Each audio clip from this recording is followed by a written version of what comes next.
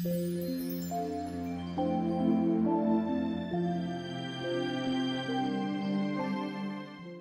Dr. Peter McGovern, and I'm the medical director at uh, University Reproductive Associates. What we do is uh, we individualize our patient care, and we focus on the entire patient, um, making sure that we're managing all of the problems, not just necessarily the most obvious problem.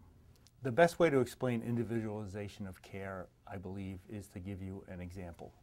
Um, so a couple years ago, I saw a couple who had been to IVF centers around the world. They'd done three IVF cycles and uh, without success.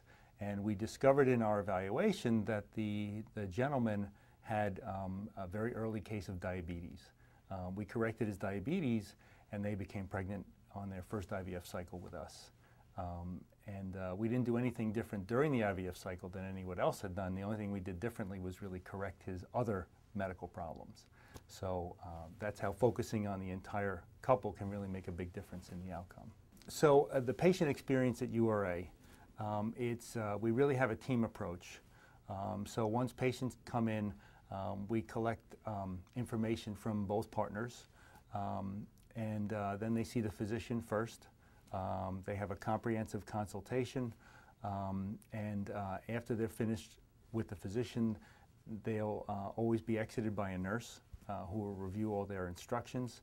Uh, we have our laboratories on site, uh, so that include, includes the andrology laboratory uh, that will assess the, the male factor. We have a hormone assay laboratory and we have the embryology laboratory. Our team approach to IVF um, means that we get together on a weekly basis with uh, all of the physicians and all of our uh, laboratory scientists um, to go over each and every patient that's actually about to go through a cycle um, to make sure that um, we really have optimized everything in their care before the cycle. The philosophy of our IVF program is to um, achieve superior pregnancy rates um, while keeping the multiple pregnancy rate as low as humanly possible. Um, and uh, there have been a lot of different advances over the years that we've incorporated to accomplish that feat successfully.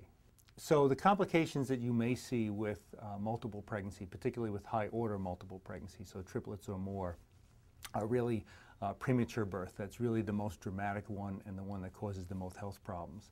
And when your babies are born at three pounds or two pounds instead of six or seven pounds, there are really a lot more both immediate and long-term health problems from that prematurity. So because of the seriousness of those problems, particularly for long-term implications for the baby, that's really why we pay so much care to uh, trying to keep that multiple pregnancy low at the same time that we keep our pregnancy rate very high.